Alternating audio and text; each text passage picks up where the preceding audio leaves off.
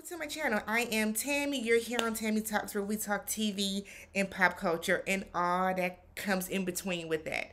So I actually wanted to do just a really quick um like little rant, vent, whatever session about Queen Sugar season 6 episode 7. They would bloom you and welcome you. Um they will bloom and welcome you. Excuse me before we get started, um, if you have not subscribed to my channel already, please consider hitting that subscribe button, thumbs up the video, leave some comments down below. Let's talk about it, all that good stuff. Um, I'm trying to hit 1,000 subscribers. So, so, any little bit helps. So, if you are thinking about subscribing, um, if you just came across my video, if you're tired of typing in Tammy Talks every week, here's your chance. So I didn't take notes on the video, I mean on the episode, um, because I didn't plan on talking about it at all. But just to do a little quick, quick something about it. So let's do uh Micah. Micah and is his friend. Um, I don't know why Micah can't see that his friend is like trying to move in on him. That little boy, that boy likes him. Um, I'm glad that Micah is comfortable enough to hug his friend and stuff. But it's also like, why do y'all keep hugging? Why do y'all keep, why are you allowing your friend to keep putting you in this situation? Um, because if we recall, like his friend was kind of the one that like Loki kind of talked him out of being, you know, in a relationship with his professor. His friend is the one that was kind of I don't say talked him out of it, but his friend was the one that was kind of like, "Do you need this?" You know, like kind of trying to big him up to be like, "You don't need to be with her." Um, I we well we know that the actor that plays Micah in real life is gay, and I think I think that's where the character is headed as well. Um, we do see his professor like she's super impressed with his presentation, and we see her like trying to like get that old thing back with him. And Micah stood his ground and would say, I have grown. I'm good. Don't need ya.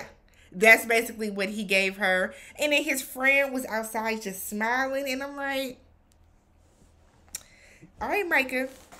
Don't let that little boy um, get you into a compromised position that you are not prepared for. You know that he is gay. Um, it's it's it's great that you're comfortable with that and you know you're not letting that deter you from hanging out with him. You don't care about his sexuality.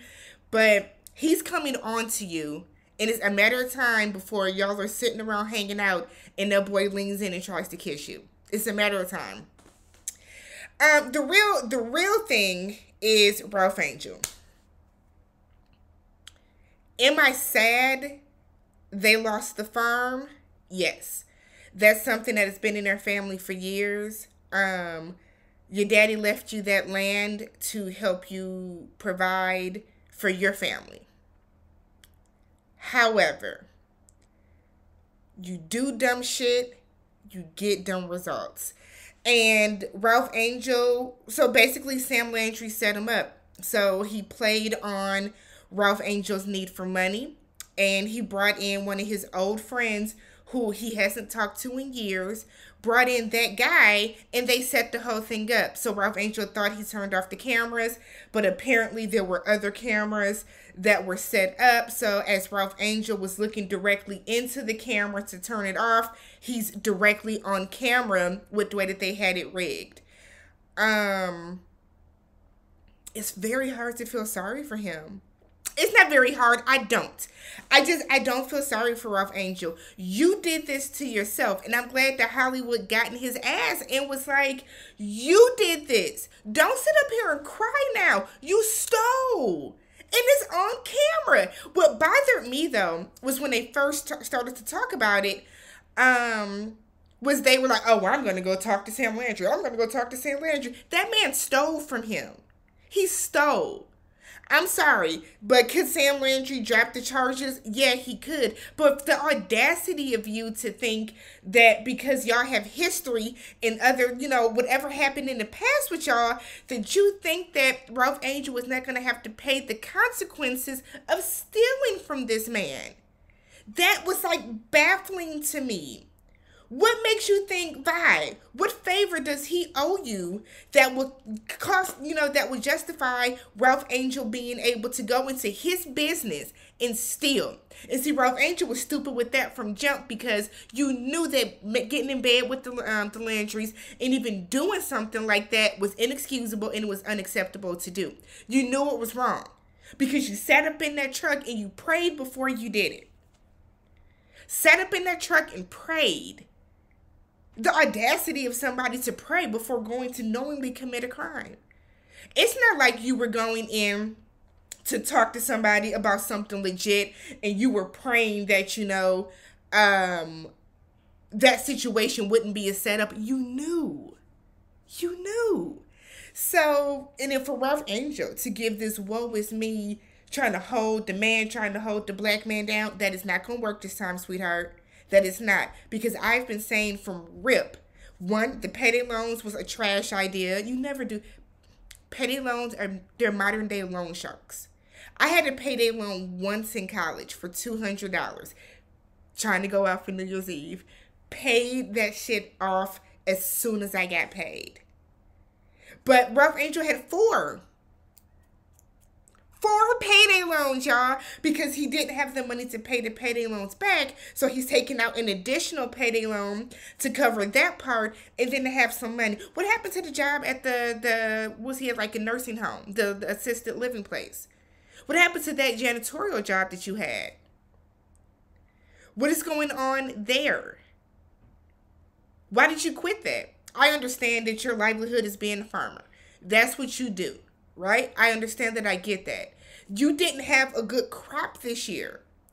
So you got that money from your friend. You took Darla on this expensive ass baby moon that you knew you couldn't afford. You're buying expensive cribs and stuff for her because you have too much pride. Too much pride is that pride is the worst thing a man can have. You can't live and die on that. You can't. You have to know when to put your pride aside for what's best for your family. So Ralph Angel is saying I took back what he owed me. He damaged my crop. And everybody was saying he damaged your crop. You got the proof? No, I don't have no proof. But I, I know. And it's like when Charley was like, Do you have proof? And Ralph Angel said, No, Charley said to hell with it. She's over it. Because my whole thing is like, you have a sister. If you don't want Charley's money, then you try to work for her somehow. Let Darla work as an assistant for her. Have Charley help you find another job. Ask Charlie for the money. Because, granted, yes, it's your farm. It is your farm, but this is also the family's legacy. Then you want to sit up there and cry at the end and say, "What about mama?" When you think about your mama's grave when you when you went and stole. Were you thinking about that when you went and stole Ralph Angel? What happened to him working at the fish market with the, you know, little Asian, was she Asian? Yeah, with the Asian girl's family. You can't go back there? My whole thing is, I understand that you're a felon, Ralph Angel. I get that. It is very hard for felons to get jobs, but you didn't try. You didn't try yeah, you're a farmer by nature. You want to keep your daddy's legacy going, and now there ain't no legacy no more because you don't lost the damn farm. Because Sam Landry said, I'll drop the charges, absolute. But I want the farm. And I'm like, I don't I, I just is it time for Queen Sugar to end? Is it time it, is it time for this to be the last season? Because I think so. I think this needs to be the last season of the show. Um, the show is generally around the family and their farm. And now we don't lost the sugar mill because you know Charley lost that. Now we're now they don't lost the farm. I personally don't care to see Charley run for Congress. I don't think it fits the theme of the show. What happened to um oh girl from um How to Get Away with Murder? That was like one of the Landry's like hidden away black daughters, half daughters. This is. You did this, Ralph Angel. Oh, then I forgot. You know, Darla had the money. It's not Darla asking her people for the money. Darla had this money because it's money that's rightfully hers. Was supposed to be used for college. She didn't go to college. That didn't pan out for her, but that's still money that her parents set aside for her. A quick phone call, and her parents, Michael Michelle, easily was like, "Girl, here you you're married now. You have a um, you're pregnant. That baby's about to come any day now, and now y'all don't have a place to live." What are you going to do with your pride now, Ralph Angel? Where are y'all going to live? Do you want to live with Aunt Vi? So she can criticize how y'all are raising the baby? Are you going to go live with Charley? Or are you going to feel like, I don't want to live with Charley. The stuff is too good here. Like, I am just floored. Floored at this episode. You lost the farm. I, I hope this is the last season of Queen Sugar. Um, well, I've enjoyed the show for what it was. I feel like they should have kept Greenleaf going and canceled this. But let me know how y'all felt about the episode. Are we sad that Ralph Angel? Do we feel bad for Ralph Angel that he lost the firm, or was it, you know,